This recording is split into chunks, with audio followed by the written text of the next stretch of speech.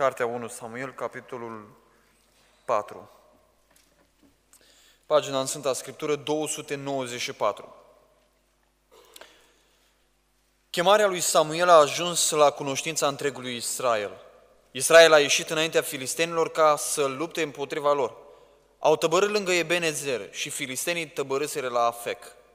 Filistenii s-au așezat în linie de bătaie împotriva lui Israel și lupta a început.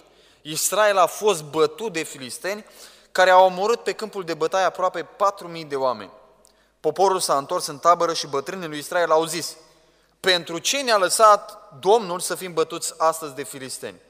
Haideți să luăm de la Silo chivotul legământului Domnului ca să vină în mijlocul nostru și să ne izbăvească din mâna vrășmașilor noștri.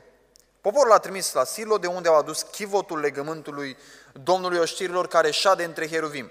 Cei doi fii al lui Eli, Hofni și Finias, erau acolo împreună cu chivotul legământului lui Dumnezeu. Când a intrat chivotul legământului Domnului în tabără, tot Israelul a scos strigăte de bucurie, de s-a cutremurat pământul. Răsânătul acestor strigăte a fost auzit de filisteni și au zis, ce înseamnă strigătele acestea care răsună în tabăra evreilor? Și au auzit că sosise chivotul Domnului în tabără.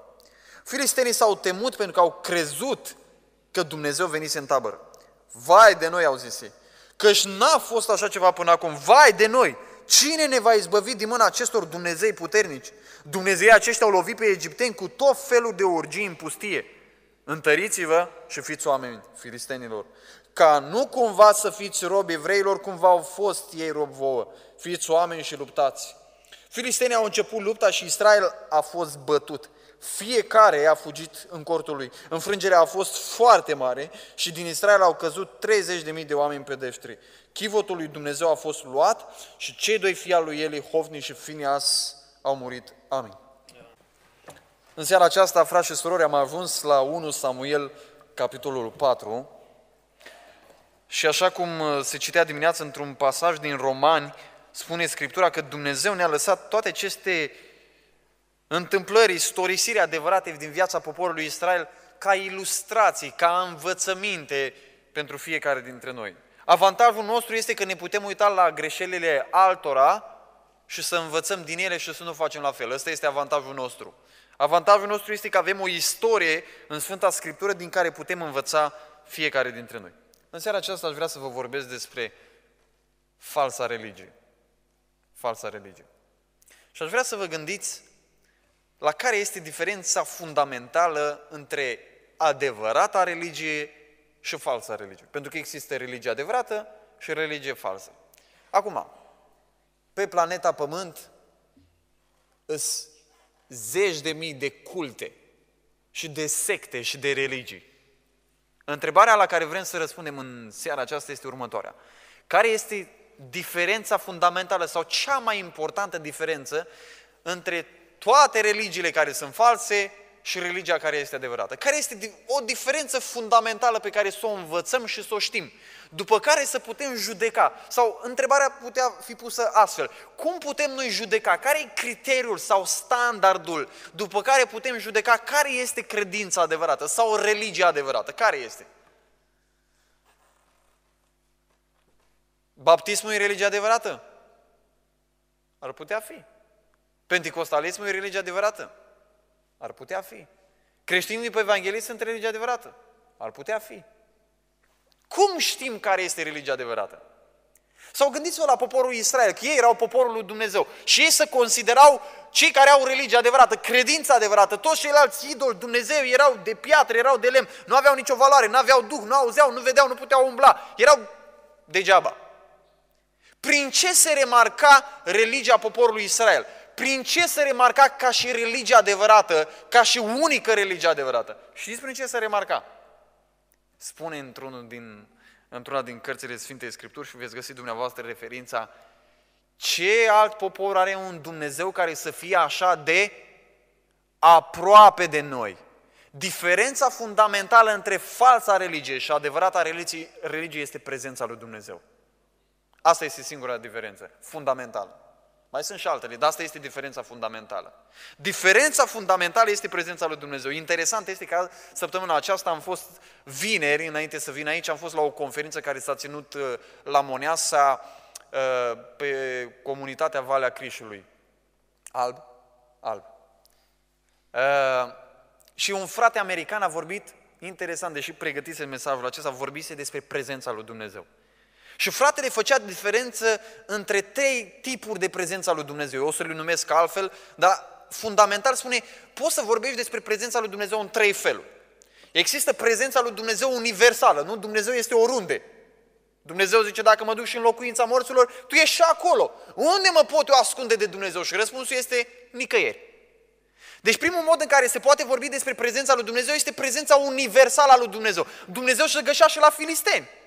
Dumnezeu se găsea și la... Uh, în, în, pe tot pământul Dumnezeu se găsea și la păgâni, la toate popoarele păgâne. Dumnezeu era prezent oriunde. Dacă te duci în locuința morților, este acolo. Dacă te duci în cer, Dumnezeu este acolo. Dumnezeu este oriunde. Când doi oameni păcătuiesc, Dumnezeu este acolo. Când doi oameni se închină la Dumnezeu, Dumnezeu este acolo. Dumnezeu este pretutindeni. Al doilea fel în care putem vorbi despre prezența lui Dumnezeu este prezența interioară, lăuntrică. Adică clipa în care Dumnezeu vine și locuiește în noi. Dumnezeu intră în noi. Asta este prezența lăuntrică a lui Dumnezeu. Din punctul acesta de vedere, toți cei care sunt născuți din nou îl au în ei înșiși pe Dumnezeu. Noi suntem un fel de templu al Dumnezeu. Zice, trupurile voastre sunt templele Duhului Sfânt. Duhul Sfânt, Tatăl, Fiul și Duhul Sfânt vin și locuiesc în tine. Dar, al treilea trip în care, de prezența lui Dumnezeu sau al treilea mod în care putem vorbi de prezența lui Dumnezeu este prezența manifestată a lui Dumnezeu. Manifestată. Este prezența universală, prezența lăuntrică și prezența manifestată. Și spune, de exemplu, vă dau câteva exemple din Sfânta Scriptură. Și spune, de exemplu, în Apocalipsa 3 cu 20, zice Domnul așa, unei biserici, iată, eu stau la ușă. Asta înseamnă că Domnul nu era înăuntru, corect? Domnul nu era înăuntru acolo. Ei nu pot să spui că nu erau credincioși, ei erau credincioși, nu pot să spui că Hristos nu era în ei, numai că prezența lui Dumnezeu nu se manifesta în adunare. Sau vă dau un alt text. În contextul disciplinei Matei 18 cu 20, dacă nu mă înșel, spune, unde sunt doi sau trei adunați în numele meu, sunt și eu în mijlocul lor. Este o manifestare a lui Hristos când se adună doi sau trei.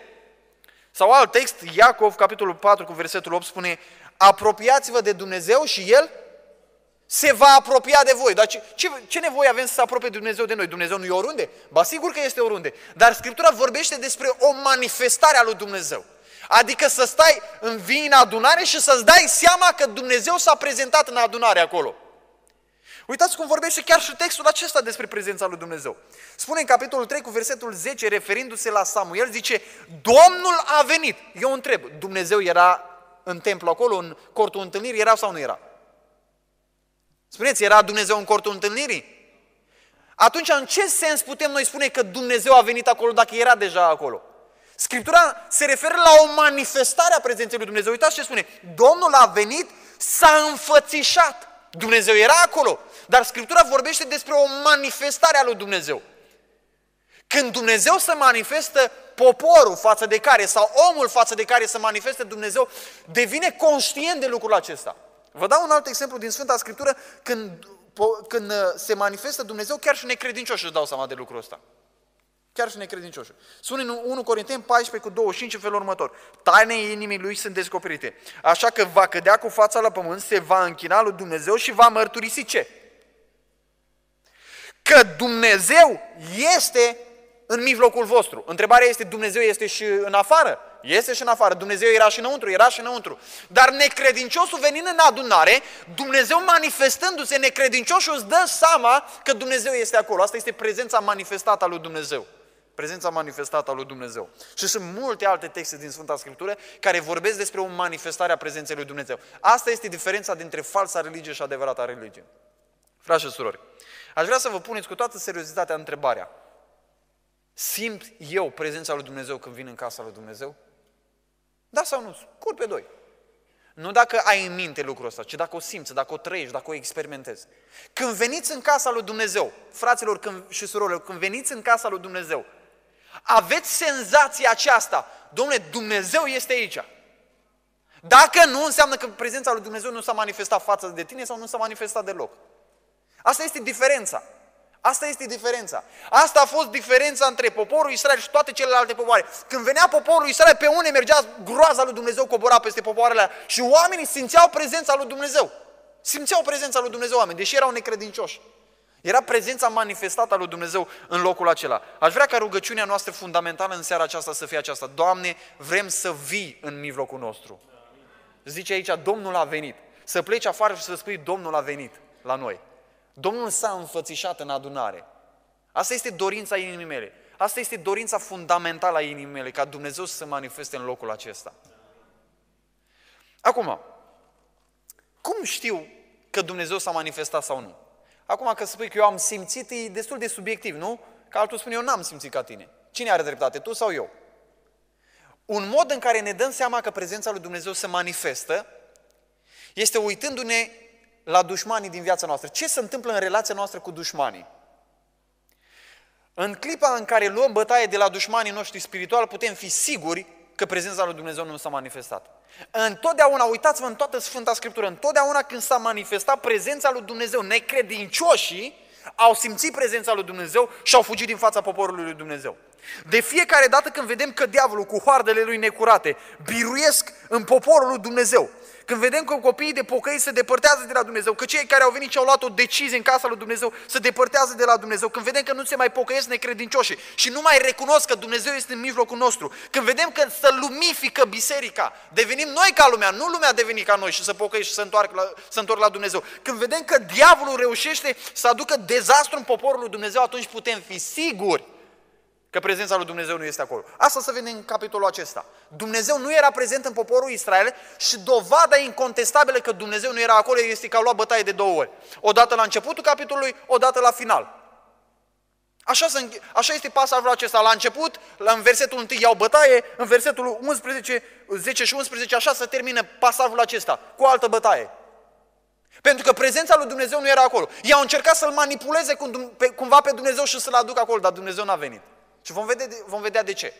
Pentru că poporul Israel a ajuns să practice o falsă religie. O religie lipsită de prezența lui Dumnezeu. O religie lipsită de prezența lui Dumnezeu. Acum, cum știm noi că ajungem să practicăm o religie care nu are prezența lui Dumnezeu? Cum știu? Cum știu? Că vedeți, putem să ne rugăm și să fie prezența lui Dumnezeu, putem să ne rugăm fără să fie prezența lui Dumnezeu. Putem să predicăm să fie prezența lui Dumnezeu, putem să predicăm fără să fie prezența lui Dumnezeu. Putem să ne adunăm aici cu prezența lui Dumnezeu sau fără prezența lui Dumnezeu. Putem să cântăm cu prezența lui Dumnezeu sau fără prezența lui Dumnezeu. Când știm că este prezența lui Dumnezeu? Când știm că e plecată prezența lui Dumnezeu. O dovadă este că când poporul falimentează. Dar haideți să ne uităm la câteva caracteristici evidente în textul acesta. Uitați cum începe textul. Chemarea lui Samuel a ajuns la cunoștința întregului Israel. Israel a ieșit împotriva filistenilor, versetul 2. Filistenii s-au așezat în linie de bătaie împotriva lui Israel și lupta a început. Israel a fost bătut de filisteni care au omorât pe câmpul de bătaie aproape 4.000 de oameni. Știți cu ce este diferit acest pasaj de alte zeci de pasaje din Vechiul Testament care descriu bătălia ale lui Israel? N-au întrebat pe Domnul, spune fratele Lucian și exact ăsta e răspunsul. N-au întrebat pe Domnul. O dovadă a falsei religiei este atunci când luăm prezența lui Dumnezeu ca ceva de apucat. Când credem că e normal să fie Dumnezeu. Asta a spus fratele. N-au întrebat pe Domnul. David se ducea să se bată cu cineva. Zice, întreba pe Domnul. Dacă Domnul nu răspundea, stătea pe loc, nu făcea nimic. O dovadă a falsei religii este că ei prezența lui Dumnezeu de apucat. Crezi că e normal ca să fie prezența lui Dumnezeu acolo? Știți când încep să mă port urât cu nevasta mea? Când mi se, pare, mi se pare normal să fiu căsătorit cu ea. Mi se pare normal să facă toate lucrurile pe care le face în față de mine. Mi se pare normal. Și pentru că mi se pare normal, nu mi se pare nimic în extra, extraordinar că în fiecare zi îmi face mâncare, în fiecare zi face curat, în fiecare zi are grijă de copilul meu, în fiecare zi are grijă de hainele mele. Mi se pare normal. Iau lucrurile astea ca de apucat. Și atunci dispare lucrul ăla frumos din familie. Când iei lucrurile ca de, ca de apucat. Când nu mai poți mulțumi că ți-a călcat cămașa. Când nu mai poți mulțumi că ți-a făcut mâncare. Când nu mai poți mulțumi pentru lucrurile mici. Nu le mai vezi. Asta a fost problema poporului Israel. Au ajuns să ia prezența lui Dumnezeu ca de apucat. S-au dus la bătaie, au zis, Dumnezeu oricum e cu noi. Fiți de poporul Israel. Noi de atâtea ori a fost Dumnezeu cu noi. Sigur că Dumnezeu e cu noi. Aș vrea să vă întreb, credeți că e normal ca prezența lui Dumnezeu să fie aici sau luați lucrul acesta ca de apucat? Vă dau un exemplu din Noul Testament, Iacov 4, 13 la 15. Auziți ce spune? Ascultați acum voi care ziceți, astăzi sau mâine ne vom duce în cutare cetate, vom sta acolo, n-am, voi face negustorie și vom câștiga. Și nu știți ce va aduce ziua de mâine. Că ce este viața voastră? Nu sunteți decât un abur care se arată puțin el și apoi piere. Voi din potriva ar trebui să ziceți, auziți, dacă va vrea Domnul vom trăi și vom face cu tare sau cu tare lucru. Dumnezeu nu avea probleme cu oamenii ăștia că făceau afaceri, că vreau să facă negustorie, că vreau să-și cumpere o casă, că vreau să-și cumpere o mașină. Dumnezeu avea probleme cu ei că nu puneau, nu întrebau pe Dumnezeu. Că nu ziceau, Doamne, dacă Tu vrei. Ei nu se mai întrebau de lucrul ăsta. Ei aveau viața în mâinile lor. Asta este o dovadă a falsei religii. Când luăm prezența lui Dumnezeu și biruința ca ceva de apucat. Ni se pare ceva normal. Ni se pare ceva datorat. A doua dovadă a falsei religii este când punem întrebările corecte și esențiale, dar nu ne luăm timp pentru răspuns și nu le punem acolo unde trebuie. Uitați ce spune Sfânta Scriptură aici. Poporul s-a întors în tabără, o lua bătaie. Trebuiau să întrebe înainte, nu după ce o lua bătaie, nu? Trebuiau să întrebe înainte. Dar întreabă, în sfârșit întreabă, e bine că întreabă. Și auziți ce spune Pentru ce ne-a lăsat Domnul să fim bătuți astăzi de filisteni? E o întrebare bună sau nu? E o întrebare foarte bună. Care e problema cu întrebarea asta? Că se duc chiar la, bătăi și, la bătălie și iar iau bătaie. Care e problema cu întrebarea asta? Întrebarea este bună. Este o întrebare fundamentală. Domnule, de ce suntem bătuți? De ce nu se pocăiesc credinci- necredincioși? De ce nu se pocăiesc credincioși? De ce pleacă copiii din casele noastre în lume? De ce? Ce se întâmplă? Punem, punem întrebarea asta, ce se întâmplă? E o întrebare legitimă, normală, perfect normală. E o întrebare legitimă, fundamentală, pe care trebuie să o punem. Problema cu întrebarea, sunt două probleme cu întrebarea asta. Prima întrebare este că n-au întrebat destul de mult timp și n-au așteptat răspunsul. Nu au așteptat răspunsul. Uitați-vă la ei. Au pus întrebarea și au zis așa. Haideți să o luăm de la Silo, chivotul legământului Domnului. În alte pasaje, când întrebau pe Domnul, așteptau răspuns de la Domnul. Aici n-au mai așteptat răspuns. De ce n-au așteptat răspuns? Știți de ce? Că filistenii în spatele lor băteau săbile, asculțeau săbile. Filistenii în spatele lor băteau din scuturi. Și o să întrebăm pe Domnul. Dar cât întrebăm? Dacă Domnul nu răspunde, noi nu putem sta după Dumnezeu până îi vine lui să răspundă, nu? Asta este problema. Frați și surori, noi în generația în care trăim, trăim într-o generație plină de gălăgie și o generație a vitezei. Nu avem timp să-L așteptăm pe Dumnezeu. Eu n-am timp să stau o oră să-L aștept pe Dumnezeu să răspundă. Eu n-am timp de lucrul ăsta. Eu n-am timp să mă pun jumate de oră în fiecare zi să-L întreb pe Dumnezeu cu privire la necazul meu. Nu am timp. Doamne, nu am timp. N-avea nici poporul Israel timp. Filistenii erau acolo. Vă dau un pasaj din Sfânta Scriptură pe care îl știți foarte bine. Samuel. Îi spune, uh, uh, Saul, mă scuzați, îi spune Samuel, așteaptă șapte zile și apoi să te duci la bătaie cu filistenii. Șapte zile. Și uitați ce spune Scriptura. Ăsta nu mai poate aștepta Saul. Și auziți ce, răspuns, ce zice el. Samuel zice, ce ai făcut? Saul a răspuns. Când am văzut că poporul se împrăște de la mine, că nu vii la timpul hotărât și că filistenii sunt strânși la Micmaș, mi-am zis, filistenii se vor coborâ împotriva mea la Gilgal. Și eu nu m-am rugat Domnului. Atunci am îndrăznit și am adus arderea de tot. Samuel a zis lui Saul, ai lucrat ca un nebun. De ce a lucrat ca un nebun? Că n-a avut răbdare. Că n-a avut răbdare. Zice, Doamne, am așteptat șapte zile. Mi-ai spus așa, șapte zile am așteptat și n-ai venit. N-am avut răbdare. N-am mai putut și m-am dus și am adus eu jertfa. El era împărat, n-avea voie să pună mâna pe așa ceva. Nu avea dreptul, preoții făceau lucrul ăsta. N-a mai avut răbdare să-i răspundă Dumnezeu. Știți de ce? A simțit presiunea poporului și a simțit presiunea dușmanilor. Dușmanii veneau către el, poporul pleca de la el și se simțea singur Saul. Se simțea singur. Aceeași presiune este pusă astăzi pe predicatori, pe păstori. Aceeași presiune. Domnule, nu s-a mai pocăit nimeni anul ăsta. Nu s-a mai botezat nimeni anul ăsta. Și atunci adopt niște metode manipulative ca să am rezultate, să botez pe cineva. Nu contează că e născut din nou sau nu. Este o presiune fantastică pusă în fața religiei pe oameni. Pentru că nu avem timp să-L așteptăm pe Dumnezeu. Noi nu avem timp să mergem în ritmul lui Dumnezeu. Noi nu avem timp să-L așteptăm ca El să ne răspundă. Nu avem timp de lucrul ăsta. De asta o să lăsăm să cânte cine vrea, o să lăsăm să, să boteze cine vrea, o să lăsăm să ia cina cine vrea, o lăsăm să facă, să predice cine vrea, lăsăm să fie cum vrea Domnule. Spuneau profesorii la noi la Oradea, zice, cu fiecare an cu cât vin studenții la teologie, cu fiecare an coboară standardele mai jos. Studenți care nu știu cărțile din Sfânta Scriptură, care nu știu lucruri elementare din Sfânta Scriptură. Și ei zic, de ce? Doamne, nu putem să lăsăm bisericile fără păstori. Serios. În loc să stăm și să spunem, Doamne, nu coborăm standardele, așteptăm să vedem care e problema, așteptăm răspuns de la Tine. Coborăm standardele numai ca să mergem înainte cumva. Asta a făcut poporul Israel. N-au avut timp Nu i-au dat timp lui Dumnezeu ca să răspundă. Și a doua problemă cu întrebarea lor e că n-au pus întrebarea cum trebuie. Uitați ce frumos începe textul nostru. Chemarea lui Samuel a ajuns la cunoștința întregului Israel. Cu, cui te aștepta să-i pună poporul întrebare când o lua bătăie? Pe cine așteptai să întrebe ei? Pe cine ar fi fost normal să întrebe dacă chemarea lui Samuel ca profet o a ajuns la, la urechile întregului Israel? Pe cine te-ai fi așteptat să întrebe? Pe Samuel, nu? Bă, dacă ăsta e profetul Domnului, ne duce la Samuel. Că el e profetul Domnului, el e vocea Domnului. Uitați ce zic ei. Versetul 3. Poporul s-a întors în tabără și bătrânii lui Israel au zis, pentru ce ne-a lăsat Domnul să fim bătuți astăzi de filisteni? Și pe cine au chemat? Auziți ce spune Sfânta Scriptură. Versetul 4.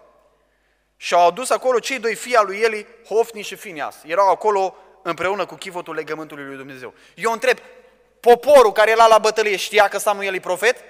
Știa, că asta, așa începe textul, spune că știau că e profet. De ce nu l-au chemat?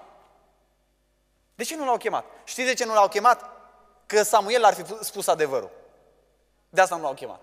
Că Samuel ar fi spus care e problema. Dar ei n-aveau nevoie să le spună Samuel care e problema.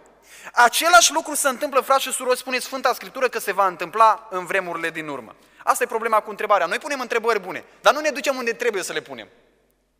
Iuda și-a dat seama că a făcut, făcut un lucru greșit, dar nu s-a dus la cel care îl putea ierta. S-a dus la preoții ce mai de seamă, în loc să, duce la, să ducă la Hristos.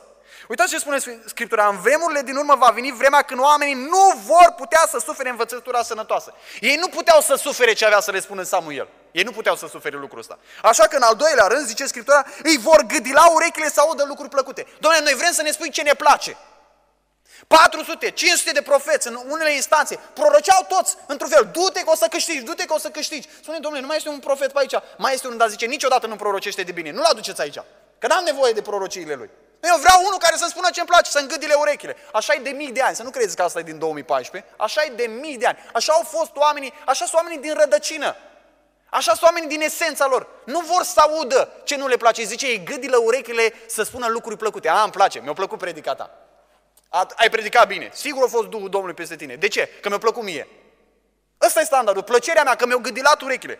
În al treilea rând spune după ei, despre oamenii aceștia, zice, își vor da învățători după poftele lor.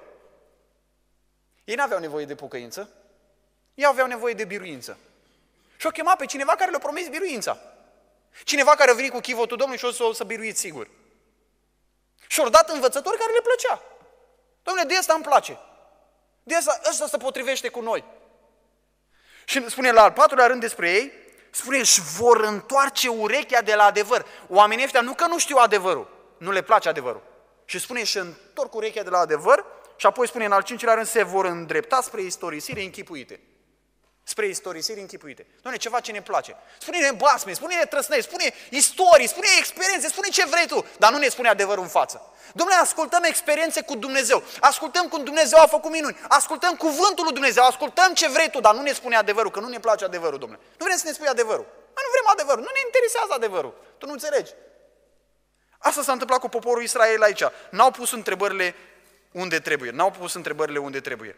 Vă dau un alt exemplu pe Saul, tot Saul. Au zis Saul. Atunci Saul a zis slujitorului, căutați-mi o femeie care să cheme morții ca să mă duc să o întreb. Tu, împărat al lui Israel. Și el a avut o întrebare. Și a avut o întrebare bună.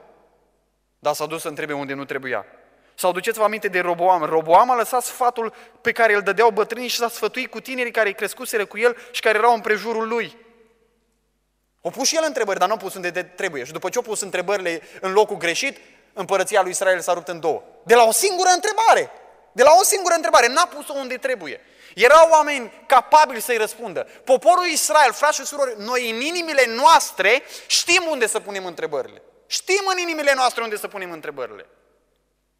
Am avut un prieten care și el mi-a pus întrebări.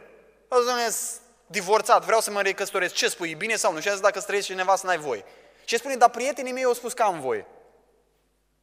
Și au făcut după prietenii lui. Au făcut după prietenii lui. Noi, zice, n-am niciun argument, mi-a spus exact așa, n-am niciun argument împotriva ceea ce ai spus, n-am niciun argument. Dar cei mai mulți prieteni mei așa au spus. Fă cum ți-au spus prietenii tăi dacă așa crezi, de cuvință. Omul știe care e adevărul. Știți când ne ducem noi unde ne trebuie? Când ajungem fără niciun fel de putere, când nu mai avem nicio șansă, atunci știm exact omul la care să ne ducem. Exact omul la care să ne ducem. Asta este o dovadă a falsei religii. Falsa religie pune întrebări bune, dar nu le pune unde trebuie și nu și-a răspuns ca să primească uh, și nu și-a timp ca să primească răspunsuri. A treia dovadă a falsei religii. Falsa religie nu înțelege simbolurile. Frați și sore, uitați-vă ce fac oamenii ăștia, uitați ce zic ei. Haideți să luăm de la Sivlo chivotul legământul, legământului Domnului ca să vină Domnul în mijlocul nostru. Ia ce să gândesc ei. Ei să gândesc, Domnule, ne aducem aminte ce spunea Moise. Auziți ce spunea Moise? Scoală-te, Doamne, ca să se împrăștie vrășmașii tăi și să fugă dinaintea feții tale cei ce te uresc. Când pornea chivotul. Deci când pornea chivotul, Moise spunea să se împrăștie vrășmașii tăi. Și zice, mă, Moise spunea chestia aia, că dacă vine chivotul, se împrăștie vrășmașii. Își mai aduc ei aminte din istorie când s-au învârtit în jurul Erihonului, cum au căzut zidurile Erihonului? Când s-au învârtit cu chivotul de șapte ori preoții, în ultima zi în jurul, uh, în jurul Erihonului, zidurile s-au prăbușit. Și au zis, domnule, am găsit soluția, ne aducem noi aminte soluția, chivotul încoace. Zice, să aducem chivotul ca să vină Domnul în mijlocul nostru. Nu a vrut Domnul să vină prima dată? Las că-l aducem noi aici cu forța. Oamenii aceștia, știți ce au spus așa? Pentru că n-au înțeles diferența între chivot și prezența lui Dumnezeu. Chivotul ăla nu era Dumnezeu. Să vă dau un exemplu clasic, da? Vedeți inelul ăsta? Verigheta asta. Aș vrea să vă întreb, asta e căsătoria mea?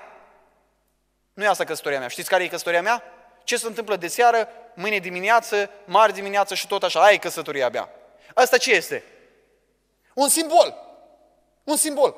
Chivotul era un simbol, ăla nu era Dumnezeu. Dar eu zis, dacă vine chivotul, vine Dumnezeu. Există o foarte mare diferență între simbol și realitatea simbolizată, adică căsătoria mea.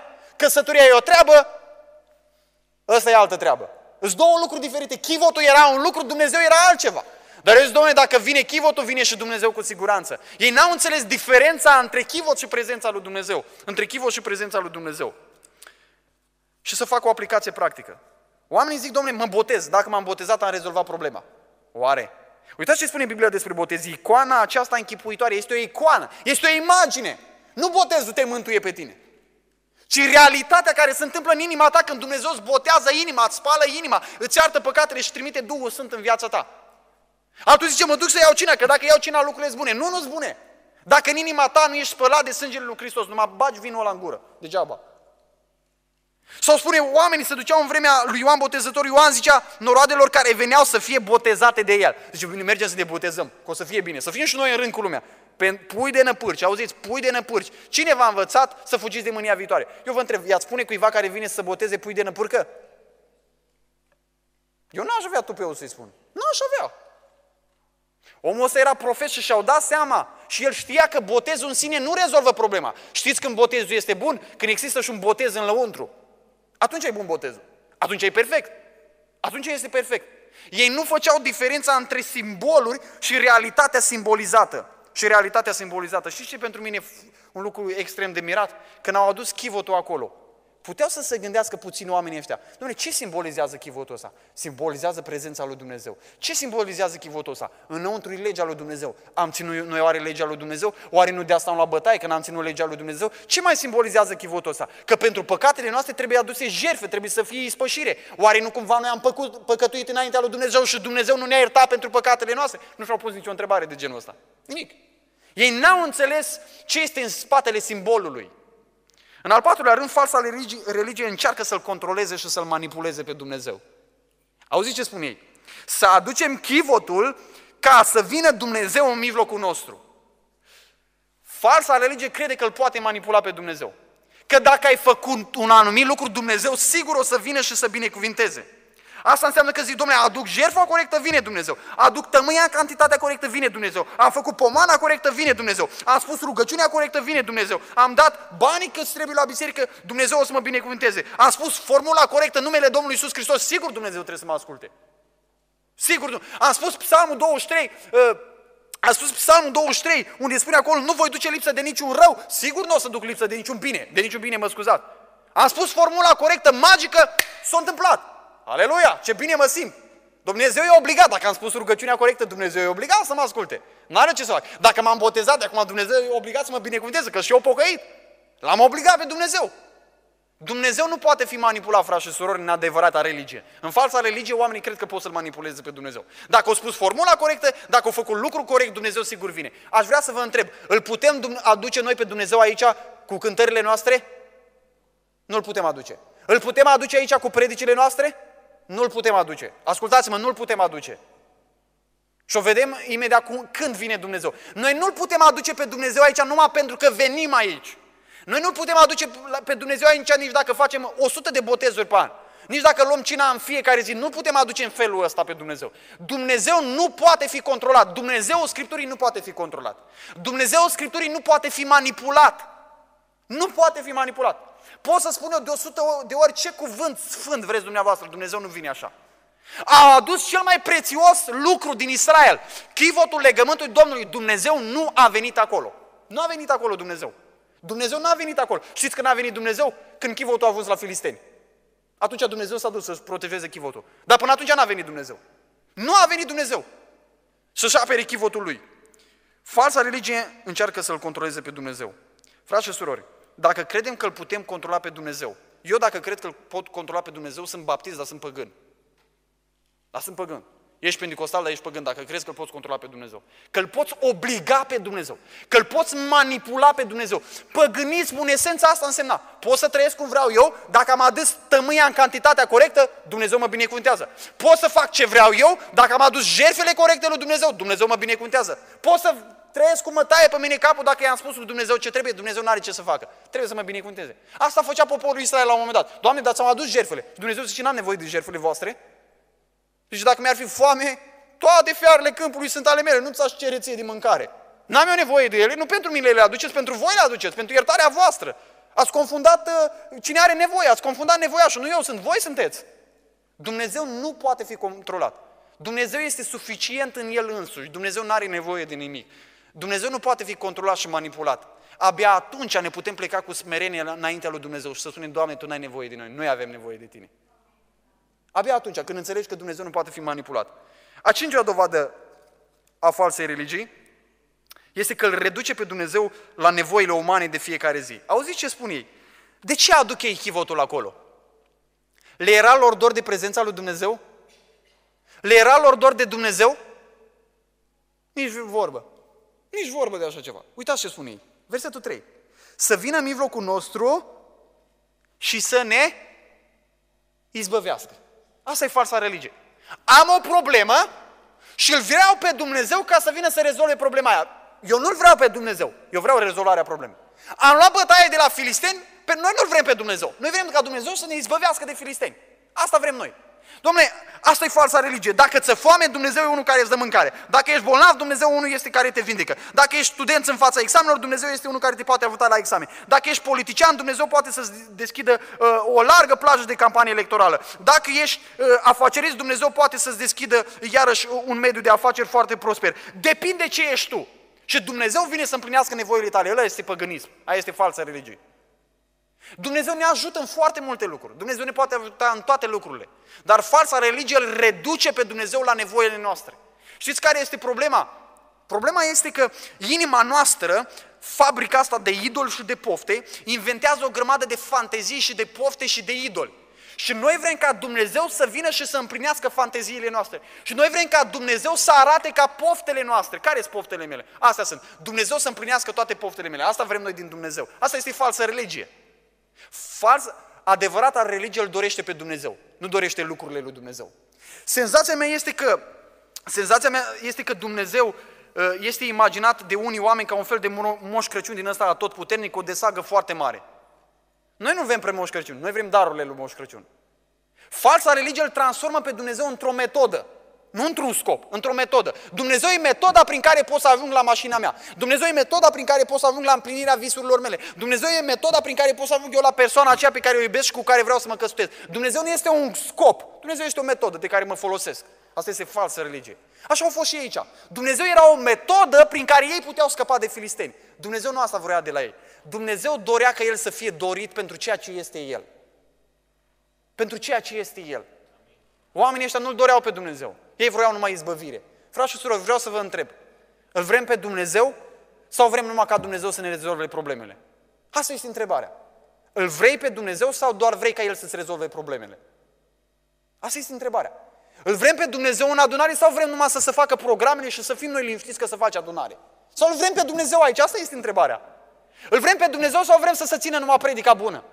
Îl vrem pe Dumnezeu sau vrem numai să se cânte cât trebuie și să reușim să ducem programul până la capăt? Îl vrem pe Dumnezeu sau vrem să se facă rugăciunile corecte, cântările corecte, predica corect? Ce vrem? Îl vrem pe Dumnezeu sau vrem să se strângă colecta cât trebuie?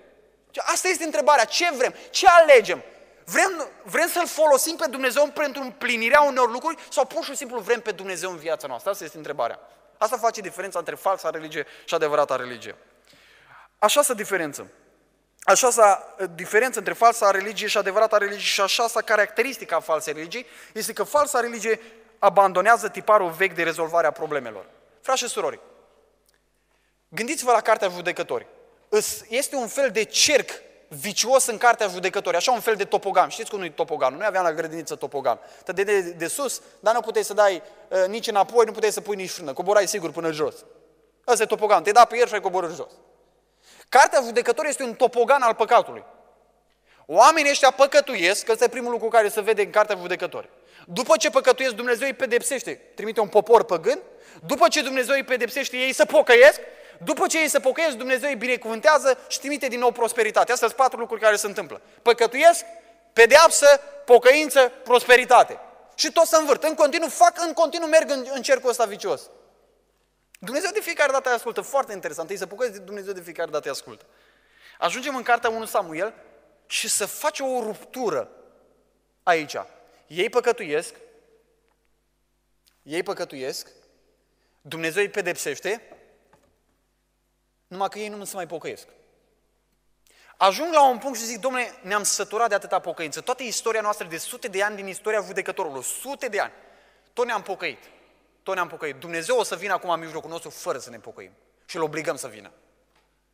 Domnule, îl obligăm să vină pur și simplu. Aducem chivotul fără niciun fel de pocăință. Citiți toată cartea judecătorii, întotdeauna s-au întors la Dumnezeu cu plâns, cu bocet, au aruncat idolii, s-au pocăit, au venit înaintea lui Dumnezeu și de fiecare dată Dumnezeu i-a izbăvit. De fiecare dată. Niciodată nu i-a părăsit Dumnezeu. Uneori le lăsăm zeci de ani să fie cotropiți până s-au întors la Dumnezeu. Și numai când s-au întors la Dumnezeu, Dumnezeu i-a izbăvit. După 70 de ani, după 40 de ani, după 80 de ani, 80 de ani a lăsat Dumnezeu două generații să fie măcelăriți în continuu, până s-au pocăit. Când s-au pocăit, Dumnezeu de fiecare dată a venit. Foarte interesant. Nu s-a plictisit Dumnezeu de pocăința lor. Sute de ani nu s-a plictisit Dumnezeu de pocăința lor. Dar la un punct bătrânii lui Israel spune, gata cu pocăința, avem altă metodă. Aducem chivotul legământul Domnului.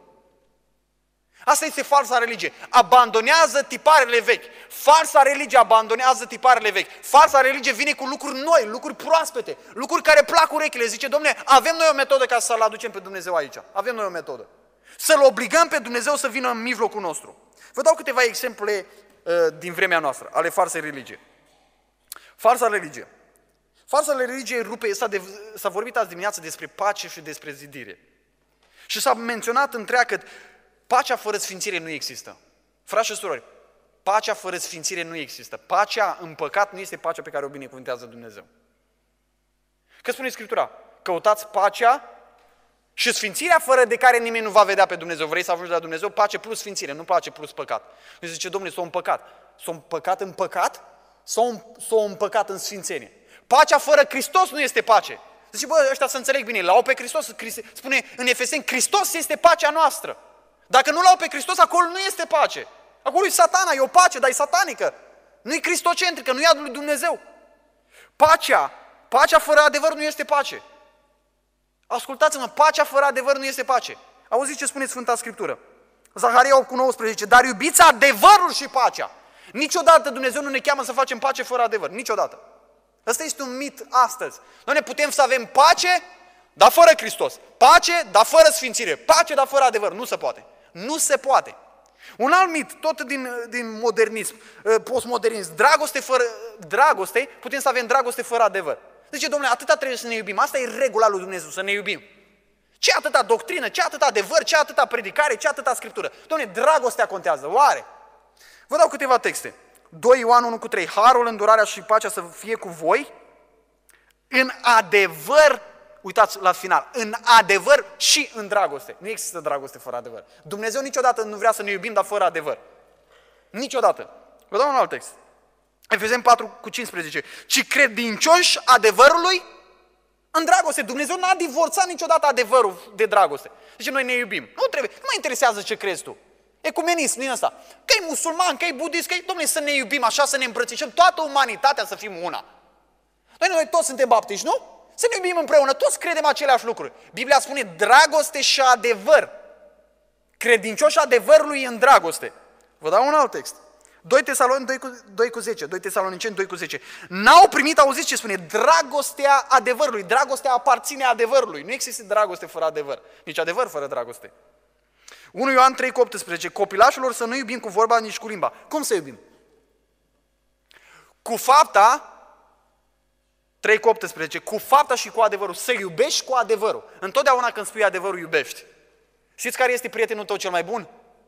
Ăla care îți spune întotdeauna adevărul. Ăla e cel mai bun prieten al tău. Și care e omul care îți dorește rău? Omul care se teme să spună adevărul. Zice, îl iubesc, mă, nu-i spun adevărul. Nu-i spun adevărul, îl iubesc, nu-i spun adevărul. Ăla nu este omul care te iubește. Un alt mit astăzi este că se poate blândețe fără confruntare. Doamne, să fim blânzi, nu? Și eu zic că e bine să fim blânzi. Biblia spune să fim blânzi. Să ridicăm cu blândețe. Biblia vorbește despre blândețe extraordinar de mult. Întrebarea este, să poate blândețe fără confruntare? Sau credeți că putem pune blândețea cu mustrarea la un loc? Spuneți-mi, credeți? Credeți că cineva poate să mustre, să confrunte pe cineva cu blândețe? Parcă mintea noastră nu prea se poate. Domne, că ești blând, și așa, un moliu trebuie să fie așa. Nu zicem nimica. Atunci ce om blând, nota 10. Auziți ce spune Biblia? 2 Timotei 4 cu 2. Mur, mustră, ceartă, îndeamnă cu toată blândețea. Mustră cu blândețe, ceartă cu blândețe. Deci poți să cerci pe cineva cu blândețe. Lucrurile astea nu sunt contradictorii.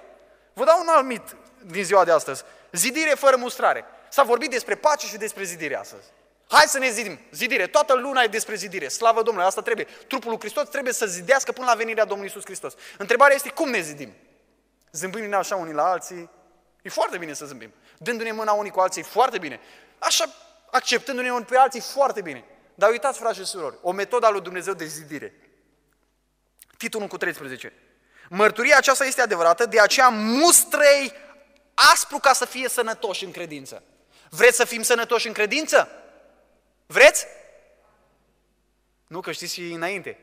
Zice, ca să fie sănătoși, mustre aspru. Vreți să fiți mustrați aspru? Nici eu nu vreau. Dar spune că sănătatea în credință vine când mustri aspru, când ești bolnav. Uneori se aplică niște metode foarte aspre ca să fii sănătoșit. Dar ești în sănătoșit, asta contează, nu? Sănătatea în credință, asta spunem noi. Zidirea contează. Și așa este, dar uneori metodele aplicate care le lasă Dumnezeu sunt puțin mai, mai deosebite. Matei 18 cu 15. Noi din versetul ăsta și ce știm, dacă fratele tău a păcătuit împotriva ta, du-te la el. Dar ce să faci la el? Auziți ce spune? Du-te și mustră-l. E o poruncă, asta e o responsabilitate. Zice, mustră-l între tine și el singur, dacă te ascultă, ai câștigat pe fratele tău. Deci poți să-l mustri pe cineva și să-l câștigi. Vreți să câștigăm pe frații care cad în păcat? Vreți? Nu prea vreți. Vreți? Spune, mustră-i! A, nu prea ne place. Partea cu mustrarea nu prea ne place. Vreți ca dumneavoastră când ați căzut în păcat să fiți câștigați? Spune, da, domnule, nu a venit nimeni să-mi spună. Nu a venit nimeni la mine când am căzut. De ce n-ai venit să-mi spui, domnule, dacă am căzut? Da, ai fi vrut să te mustru? Ca să spune Biblia. Ca să te câștig trebuie să te mustru. Asta spune Sfânta Scriptură. Vă dau un alt text. Efeseni 6 cu 4. Și voi, părinților, nu întărâtați la mânie pe copiii voștri, au zis, ci creșteți Cum? Să-i crești în mustrare, în mustrare și învățătura Domnului. Așa e creșterea, așa e sănătatea în credință, așa e câștigarea. Trebuie să fie făcută cu blândețe, dar trebuie să existe acolo confruntare și mustrare. Frați și surori, asta n-a înțeles poporul Israel. Poporul Israel a abandonat metoda veche. Au abandonat, n-au mai vrut plânsul pocăinței. N-au mai, vrut amără, n-au mai vrut amărăciunea pocăinței. N-au mai vrut țărâna turnată în cap. N-au vrut să se mai îmbrace cu sac. N-au vrut să mai stea în cenușă. N-au mai vrut să postească. Doamne, gata, lăsăm metodele alea vechi. Ce atâta pocăință? Nu, nu vă întrebați câteodată, doamne, ce au ăștia atâta cu pocăința asta? Doamne, mai lăsați o dată în pace cu pocăința. Vă n-aveți altceva de predicat? Biblia voastră nu vorbește despre altceva? Nu, frate și surori, de la cap la coadă, căutați în Sfânta Scriptură, niciun om n-a avut parte de favorul lui Dumnezeu fără pocăință. Niciun om. Niciun om n-a fost mântuit fără pocăință. Niciun om n-a scăpat de păcat fără pocăință. Niciunul. N-a existat niciun singur om care să fie mântuit fără pocăință. N-a existat nicio biserică care să fie reîmprospătată fără pocăință. Repet, noi spunem, Doamne, adu vremuri de înviorare. Toată țara să roagă să vină vremuri de înviorare. Petru spune clar, pocăiți-vă ca să vină vremuri de înviorare. Bisericilor, Domnul le spune, v-am dat timp să vă pocăiți, dar nu vrei să te pocăiești. Asta este metoda lui Dumnezeu. Îi veche, dar e bună și funcționează. Doamne, dă-ne harul pocăinții tuturor. Amin. Asta avem nevoie. Și uh, falsa religie, în al șaptelea rând, ignoră starea spirituală a conducătorilor. Uitați-vă, uitați-vă un punct aici, foarte important. Știți, într-o casă, într-o familie, când pleacă prezența lui Dumnezeu, când tata e într-o stare spirituală proastă, atunci pleacă prezența lui Dumnezeu. Asta e 100% sigur. Atunci pleacă prezența lui Dumnezeu. Și când e și mama, deja e șahmat acolo, de la diavol. Știți când într-o societate e plecată prezența lui Dumnezeu? Când în societatea aceea conducătorii societății respective nu au nicio treabă cu Dumnezeu, atunci pleacă prezența lui Dumnezeu. Și noi spunem că uh, putem împărți lumea asta în trei sfere. Da? Familie, biserică și societate. Când societatea, când conducătorii societății îți praf, prezența lui Dumnezeu pleacă. Când în familie, conducătorii, capii, îți depărtați de Dumnezeu, prezența lui Dumnezeu. În biserică e același lucru, frați și surori. Și vă reamintesc ce spunea fratele Liviu Ola, prin care, prin care Dumnezeu a lucrat acea trezire extraordinară. Și Timișoara, și Arad, și Oradea, da? Dumnezeu a împânzit. Spune el, este cartea asta aici sus, nu știu dacă mai este, este sus aici în apartament când stătea la un moment dat. Spune acolo la un moment dat, am citit câteva capitole. Zice, în trei ani de zile, o biserică ajunge să arate nu cum predică păstorul, ci cum să poartă păstorul, cum este păstorul. Așa este. Așa este. Așa este. Așa este. Frați și surori, falsa religie ignoră. Ignoră starea spirituală a, a, a conducătorilor. Ignoră, nu ne interesează. Doamne, nu contează că a venit aici Hofni și Finias. Știți când au început să plângă poporul? Când a murit Hofni și Finias. Dar, frați și surori, cât timp au trăit Hofni și Finias? Când Hofni și Finias era la, la cortul întâlnirii, era blestem. Când Hofni și Finias s-au dus în mijlocul luptei, a venit blestemul lui Dumnezeu acolo. Când au murit ei, a venit gloria lui Dumnezeu înapoi în Israel. Dar ei au gândit invers. Când a murit Hofni și Finias, s-a dus gloria, a spus soția lui Finias. S-a dus gloria din Israel. A murit socrul meu, a murit soțul meu, s-a dus gloria din Israel. Ba nu s-a dus, acum se întoarce. Că cât timp a fost ei acolo, gloria lui Dumnezeu era plecată. Gloria lui Dumnezeu era plecată. Frați și surori, s-ar putea, ascultați-mă, s-ar putea că atunci când, când voi pleca eu de aici, dar nu știu dacă voi pleca, dacă voi rămâne, dacă va pleca frate Lucian, dacă va rămâne, dar s-ar putea că atunci să vină gloria lui Dumnezeu, nu cât timp am fost noi. Depinde. Știți de ce depinde? De starea noastră spirituală. De asta depinde. De asta depinde. De asta depinde, de starea noastră spirituală. De starea noastră spirituală. Falsa religie nu interesează. Nu mă interesează cum trăiești. Cât timp îți faci slujba, asta e bine. Nu este așa. Nu este așa. Mie mi-ar conveni, vă spun sincer, mi-ar conveni să fiți mai toleranți. Spui, băi, așa, Andrei e om. să că mai face și el greșeli. Mi-ar, place, mi-ar plăcea să nu, să nu, tot în reproșați anumite lucruri. Nu îmi place. Frații mai spun una alta la comitet și bine fac îmi spun. Mă mai confruntă și bine fac că mă confruntă. Așa trebuie să fie. Dar nu prea îmi place, vă spun sincer, nu prea îmi place. Așa în 30 secunde vin toate argumentele împotriva la ce mi-au spus. Poate am dreptate uneori, poate uneori n-am dreptate. Dar nu-mi place, în general nu-mi place să-mi spuneți. Nu-mi place să-mi spuneți. Vă spun sincer, nu-mi place dar e spre binele meu să-mi spuneți. Ăsta e lucru care mă face să mă gândesc, domnule, cum sunt în domeniul ăsta, cum sunt în domeniul ăsta, cum sunt în domeniul ăsta, cum sunt în domeniul ăsta, să mă gândesc, să, să fac ceva cu lucrurile alea, ca starea mea spirituală să fie bună, influența mea să nu fie negativă, falsa religie nu interesează. Când nu o să vă mai pese de păstorii dumneavoastră cum trăiesc, să știți că atunci trăiți în falsă religie. Și gloria lui Dumnezeu e plecată de parte tare. Și închei în seara aceasta, falsa religie leagă pe Dumnezeu de ritualuri îl leagă pe Dumnezeu de ritualuri. Reagă în primul rând de obiecte de cult. Auziți ce spune? Poporul a trimis la Silo de unde au adus chivotul legământului, legământului Domnului oștirilor. Frați și surori, prezența lui Dumnezeu nu este legată nici de Bibliile noastre, nici de chivotul nostru, de obiectele pe care noi le avem. Prezența lui Dumnezeu nu e legată de ele. Asta e superstiție, asta este vrăjitorie, nu este religie adevărată. Aia nu este credința adevărată. Ei au zis, dacă vine chivotul, vine Dumnezeu. Dumnezeu era legat de chivotul ăla? nu era legat Dumnezeu de chivotul ăla. Falsa religie leagă pe Dumnezeu de obiecte de cult. Dacă am crucea mare atârnată aici, e Dumnezeu cu mine. Pot să spun ce vreau, pot să trăiesc cum vreau. Nu, nu e Dumnezeu cu tine. Doamne, dacă am venit cu semnele alea care ne le facem prin biserici, icoana potrivită, dacă plânge cum trebuie icoana, dacă varsă ce trebuie icoana, atunci e prezența lui Dumnezeu. Nu, nu ui! Nu, nu ui! Dacă avem Sfântul Mormântat care trebuie în biserica noastră, e prezența lui Dumnezeu. Nu, nu ui! Prezența lui Dumnezeu nu este legată de obiecte. Amin. Dumnezeu e liber, nu e legat. Prezența lui Dumnezeu nu este legată de slujitori. L-au adus pe Hovni și Finias. De ce? Că erau preoții Domnului. Era Dumnezeu legat de slujitori. Ce dacă vine Hovni și Finias, Dumnezeu nu are ce face. Vine în spatele lor și trebuie să-și apere chivotul. Și să teau toți în jurul chivotului. Ne apără Dumnezeu și pe noi. Și pe chivot și pe noi. Dumnezeu nu e legat de Hovni și Finias. Dumnezeu nu era legat de ei. Frați și surori, Dumnezeu nu este legat de mine. Dumnezeu nu este legat de mine. Prezența lui Dumnezeu nu este legată de slujitori. Prezența lui Dumnezeu nu este legată de slujitori. Vă fac, vă fac o aplicație practică. Și ce facem noi când simțim că avem probleme? Doamne, să mai pocăiești nimeni, nu mai vine nimeni la biserică, chemăm un cântăreț. Punem afișele, vine cântărețul, a rezolvat problema, nu trebuie să ne pocăim. Că dacă aude că a venit vedeta, toți sunt aici și laudă pe Domnul, aleluia, slavă Domnului. Când vede că nu rezolvă problema, repede, care sunt predicatorii populare din țară? Hofni. Hai Hofni la Biserica Baptistă Sfânta Treimii să golește Biserica Betania, să golește Biserica Emanuel, că a venit Hofni să predice. Și are o retorică Hofni, ne spune istorisiri închipuite și toți călcăm, căscăm gura larg și la urmă plângem tot și umplem batistele. O venit Hofni. O venit sportivul cu tare, o venit vedeta cu tare și îl primăm așa din biserică în biserică și toți ne ducem acolo buluc la el. Dar nu trebuie să ne pocăim. Frați și surori, nu trebuie să ne pocăim ca să vină lumea. Dar ca să vină prezența lui Dumnezeu trebuie să ne pocăim. Ca să strângi oameni nu trebuie pocăință, trebuie să aduci o vedetă. Trebuie să aduci un sportiv, trebuie să aduci o cântăreț, trebuie să aduci un gimnast care spune că s-a pocăit, un cântăreț care spune că s-a pocăit, un predicator mare și tare și atunci oamenii vin. Întrebarea este ce vrem? Să fie mulțime sau să fie prezența lui Dumnezeu? Asta este întrebarea. Asta înseamnă să legi prezența lui Dumnezeu de oameni, frați și surori. Când vedem că lucrurile se blochează și nu merg, nu trebuie să chemăm oameni. Trebuie să-L chemăm pe Dumnezeu.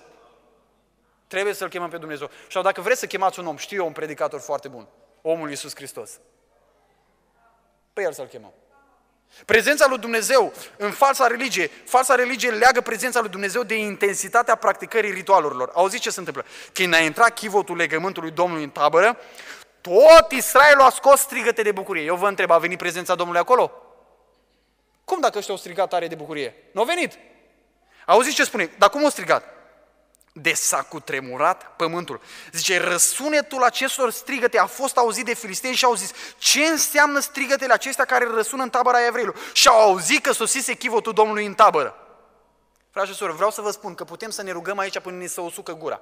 Putem să ne rugăm aici până cad de oanele astea în capul nostru aici. Putem să strigăm tare, să aducem tobe, să aducem chitări, să aducem ce vrem noi să aducem, să facem aici gălăgie, spune, Doamne vină! Și să simțim așa, să vibrăm aici, spune, Doamne, mi s-a zbârlit pielea pe mine. Ce, ce intensitate! Toți vibram de bucurie în prezența lui Dumnezeu. Nu, nu era prezența lui Dumnezeu acolo. Ei se bucurau acolo, dar prezența lui Dumnezeu nu era acolo. De ce? Prezența lui Dumnezeu nu este legată de intensitatea ritualurilor noastre. Vreau să vă spun de ce. Era o Ana care numai buzele și le mișca. Și Dumnezeu era acolo. Poate era unul dintre puținele momente când Dumnezeu mergea acolo la cortul întâlnirii. Și Dumnezeu spunea, n-am venit pentru Hofni, n-am venit pentru Finias, n-am venit pentru Eli, pentru preoții Domnului, am venit pentru femeia asta care are sufletul zdrobit și stă înaintea mea. Pentru ea a venit Dumnezeu. Pentru ea a venit Dumnezeu. Zice, se ruga în inima ei. Eu nu zic că nu-i bine să vibrăm în cântare. Nu zic că nu-i bine să vibrăm în rugăciune. Dar spun că nu de asta e legată prezența lui Dumnezeu. Falsa religie se bazează pe o credință falsă. Auziți ce zic filistenii? Filistenii spune așa. Zic ei, auziți ce credeau ei? Filistenii, versetul 7, s-au temut și ascultați cuvântul ăsta, pentru că au crezut că Dumnezeu venise în tabără. Au crezut. Ce ziceți, era adevărată credința lor? Era adevărată credința lor? Nu era adevărată. Dumnezeu nu venise în tabără. Așa credem și noi câteodată. Zice, domnule, dacă, sunt multe biserici astăzi care zice, dacă schimbăm muzica, atunci o să vină lucrurile, o să se rezolve lucrurile. Credința noastră este muzica pe care o schimbăm, nu Dumnezeu care schimbă lucrurile. Zice, domnule, dacă lăsăm puțin tinerii mai liberi așa, lăsăm tinerii puțin mai liberi, să socializeze așa unul cu altul, chiar dacă se apropie puțin mai aproape, vine prezența lui Dumnezeu. Nu, vine prezența vreunui du de curvie, nu prezența lui Dumnezeu. Zicem, domnule, dacă schimbăm puțin, dacă scoatem regulile de bun simț, dacă scoatem puțin regulile de vestimentație, că noi nu suntem legaliști, noi suntem liberi în Hristos. Dacă poate scuțim, scoatem puțin regulile decenței, domnule, o să vină mai mulți, o să vină mai mulți oameni, dar nu o să vină prezența lui Dumnezeu. Credința mea este cam, credința mea este în scoaterea regulilor și zic, dacă am scos regulile, se rezolvă problema. Nu este adevărat așa ceva. Dacă am adus muzica cu tare, se rezolvă problema. Nu este așa, așa ceva. Credința mea este muzica respectivă, ea o să rezolve problema. Credința mea este în ceaiul, să dacă punem ceai și biscuiți acolo, o să vină mai mulți tineri la tineret. Credința mea e în ceai și biscuiți, nu în prezența lui Dumnezeu. Pentru mine rezolvarea nu este în prezența lui Dumnezeu, ci în lucrurile pe care le facem noi. Sunt atâtea biserici care fac lucrurile astea. Sunt atâtea. Noi zicem, la, la noi am făcut, i-am dus la pizza în oraș, i-am dus pe stadion, i-am dus la fotbal, i-am dus la volei, i-am cărat cu mașinile. Nu au rămas niciunul în biserică. Că noi ne-am încrezut în lucrurile alea, nu în Dumnezeu. Noi le-am adus cu lucrurile alea, dacă i aduci cu lucrurile alea, trebuie să-i dai în continuu pizza. Dacă l-ai adus cu Dumnezeu, e destul, îl are pe Dumnezeu și ai rezolvat problema. Falsa religie are o bucurie falsă. Când a intrat chivotul legământului Domnului în tabără, tot Israelul a scos strigăte de bucurie. Vreau să vă întreb un lucru. Dacă la anul în 2015 vom avea 10 botezuri în biserică, v-ați bucura? Spuneți-mi. Spuneți tare. Știți că urmează ceva, de asta nu spuneți. V-ați bucura, nu? Așa s-o bucura și ei de chivotul Domnului. Eu vă întreb, era prezența lui Dumnezeu acolo? Nu era. Să poate să botezăm fără să fie prezența Domnului? Să poate. Să poate. Frați și soră, noi ne bucurăm că Dumnezeu e prezent și a întors oameni la Domnul sau ne bucurăm de ritualul în sine, că să face botez? Bine, să face botez la noi, să făcut. Aleluia! Slavă Domnului! Noi ar trebui să ne bucurăm de Dumnezeu care e prezent și atinge inimile oamenilor și îi întoarce la El. Nu să ne bucurăm de lucrul ăla în sine care se întâmplă. Înțelegeți? Noi nu trebuie să regăm uh, bucuria noastră, nu trebuie să o regăm bucuria noastră de lucrurile astea. V-am povestit de un frate păstor care venea la noi, tare, tare mult mă întrista omul ăsta. Venea la noi și ne vedea așa puțin, zice, fraților, zice, în ultimii patru ani, zice, am mai dus, am mai înființat o biserică și acum avem și o orchestră micuță, avem și un cor micuț, avem și câțiva frați predicatori care îi pregătim și lucrurile merg bine. Zice, la dumneavoastră văd că sunteți cam puțini. Și când m-am dus în biserică, era o coma acolo, parcă a intrat în, în, în, în cimitir. Nu mișca nimic acolo. Moarte totală. Dar aveau cor, aveau fanfară, aveau și tineri pe care îi predica, care îi pregăteau pentru predică, aveau o grămadă de lucruri. El se bucura de lucrurile alea, el nu se bucura de Dumnezeu. Ce, Doamne, ce contează că stăm aici și, și fric ca în cimitir? E frica într-un cavou. Nu contează asta, mă refer la fric spiritual. Nu contează asta. Cât timp avem, lucrurile sunt bine. Doamne, cât timp nu s-a pus lacătul pe ușă, ușa bisericii, lucrurile sunt bune. Nu sunt bune. Nu sunt bune. Activitățile nu sunt greșite. Eu vreau să vă întreb, îl vedeți pe Dumnezeu dincolo de activitățile astea? Îl vreți pe Dumnezeu dincolo de activitățile astea?